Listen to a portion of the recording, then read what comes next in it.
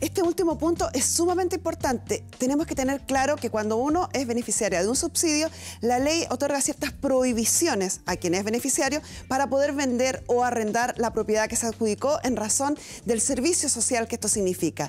Para aclarar este punto fuimos a hablar con el ministro de Vivienda y Urbanismo, Cristian Monkever, y esto fue lo que nos dijo.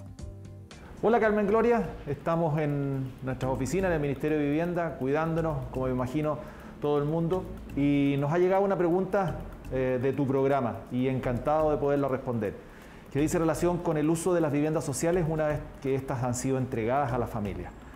Efectivamente, cuando hay recursos públicos eh, involucrados, lo que se busca es que precisamente esas viviendas se utilicen de buena manera. ¿Y qué significa eso? Que las familias habiten en ellas, así de simple.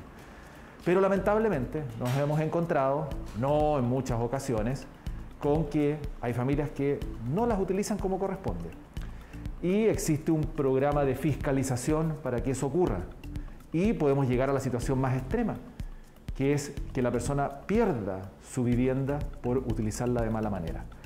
¿Cuáles son las condiciones y los requisitos? Muy simple. Durante cinco años la casa hay que habitarla, no se puede arrendar no se puede dejar desocupada porque el riesgo de la, toma es inminente y no se puede destinar 100% a un local comercial. ¿Qué buscamos con esto? Reguardar los recursos que son escasos y que se utilicen de buena manera para que las familias aprovechen su vivienda social por toda su vida, porque entendemos que es una tremenda ayuda y una tremenda necesidad y un tremendo anhelo de muchas familias.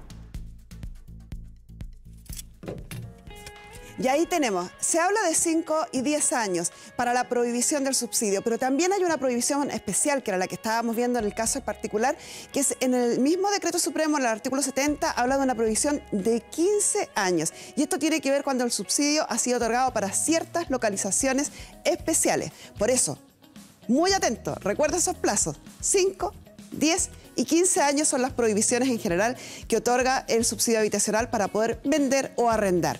La razón es porque esa casa fue adjudicada para su uso, para solucionar un problema habitacional directo de las personas.